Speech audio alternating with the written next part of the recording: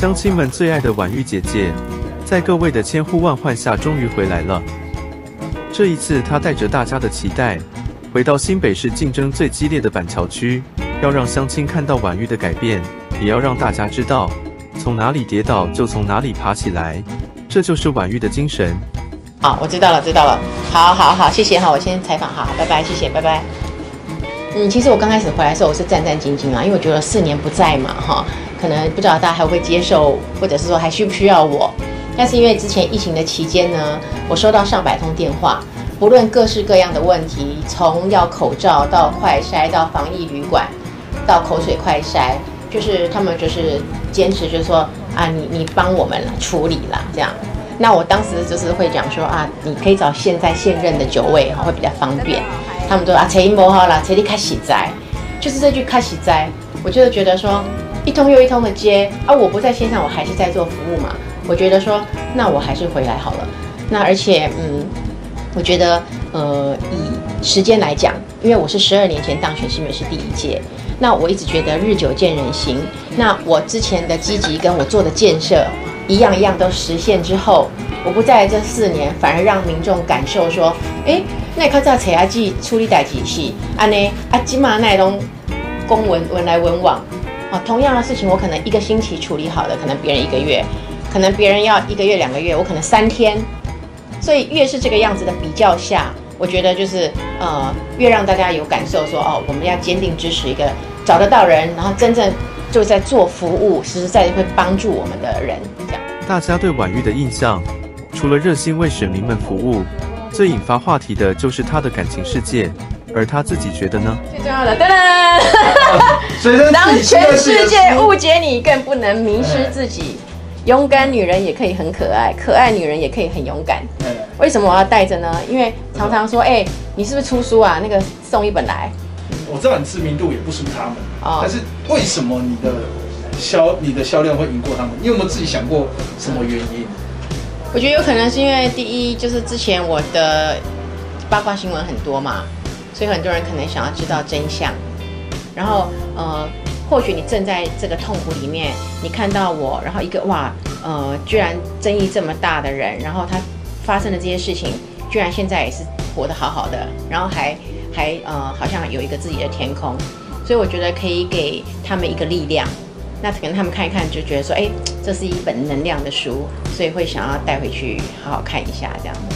那这六段感情，你觉得哪一段，呃，你觉得错过谁最可惜？希望如果再来一次，你就就绝对不会放手。我觉得好像都很可惜，也都不可惜。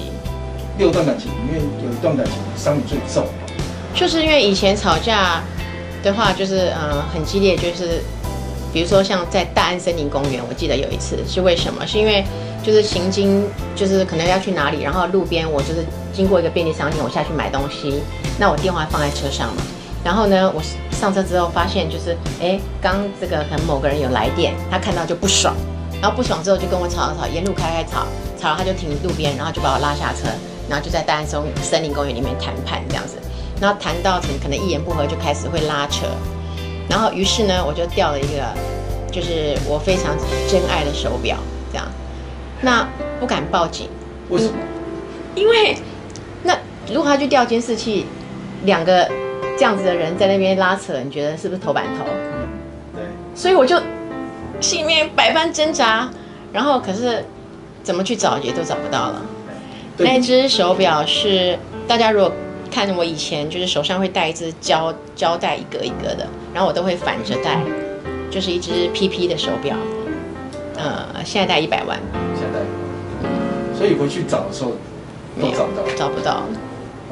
真的是人财两失哎。对，没错，不止一个，还不止一个。对，有的时候是耳环，什么钻石耳环啊，然后有在那一场时候丢掉的吗？不是，当然是在多场中就是陆续的掉。所以你跟他吵架的频率也蛮高的哦。四年嘛，四年。就是比如说像我就说过，就是我受呃生病开刀的时候，因为我在台北，他在云林，那他有的时候来雇我，那云林有会看有事他回去，回去再来，这样多次来回。那呃我那时候住院呃十多天，那每一天他可能就睡在那个小小的沙发上面，脚都露出来，然后睡到比我还熟。就是我因为我受伤嘛，有开刀，然后就是我无法行动，很没办法，所以才要人照顾。可是呢，我叫他都叫不醒，我后来都自己滚下去，慢慢爬，爬到厕所去上厕所。就他很累，对，可他还是会这样子，就是他他陪在我旁边。所以就是后来不论说发生多么糟的事情，我都会念着他这一份情，就是说你你我我相信当时你是真的，这样用这样的心态啊。当时是非常非常痛苦的，就是呃某两首歌我在 KTV KTV 里面是完全唱不完，每次唱到那样就是那个情景就会爆哭这样子。我怀念的孙燕姿，嗯，好悲的歌。对因为我其实那时候是忧郁症，把时间填满去插花、去画画啊，去去习茶，然后去学所有的我想学的东西，然后去上课，然后甚至去那个法鼓山禅修，这是我一辈子都没有想过我会去的事情。可是我就借由这些事情去静心，然后让自己跟自己对话，然后让自己勇敢站起来这样子。那我其实就是想要就是哪里跌倒哪里爬起来。我没有想要一辈子从事就是民意代表这个工作，但是我觉得我一定要把我该做的事情做完，这个才是叫李婉玉。